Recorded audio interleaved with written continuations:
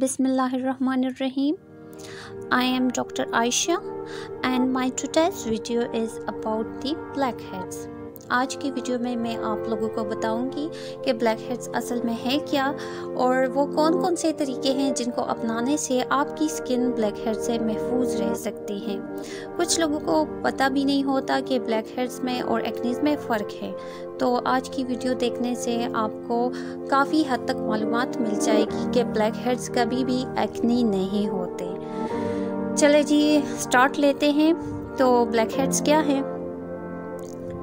Black heads melanin के oxidise छोटे छोटे पॉकेट्स नुमा दाने होते हैं। आपकी स्किन के सरफेस पे होते हैं। आपकी स्किन के पोर्स जब खुल जाते हैं तो इर्द के जो डेड स्किन सेल्स होते हैं, वो उनके साथ रिएक्शन उनकी हो जाती है। उसके ऑक्सीडाइजेशन की वजह से ब्लैक हेड्स बन जाते हैं। मोस्टली ये सारे फेस पे होते हैं और अपर लिप पे भी ब्लैक हेड्स के चांसेस बहुत ज़्यादा हैं। कभी कभार ये बैक पे और नेक पे भी बन जाते हैं और आर्म्स पे भी, लेकिन बहुत कम ब्लैक हेड्स के चांसेस हैं।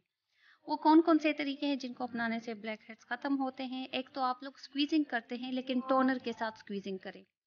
कभी कभार ये इतने बड़े हो जाते हैं, जैसे आप देख सकते हैं, फिर आप इसकी एक्सट्रैक्शन करते हैं, लेकिन एक्सट्रैक्शन के बाद कोई भी एंटीसेप्टिक लोशन ज़रूर यूज़ करें।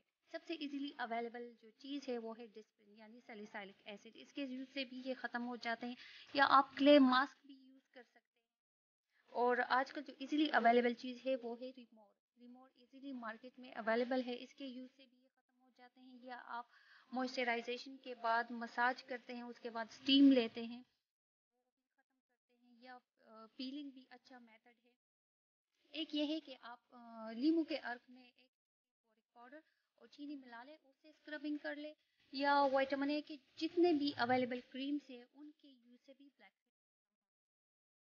thanks for watching my video and don't forget to like the video kindly मेरे चैनल को ज़रूर सब्सक्राइब करें ताकि आपको अच्छी अच्छी वीडियोस और चीज़ों के बारे में मालूम मिलती रहे। थैंक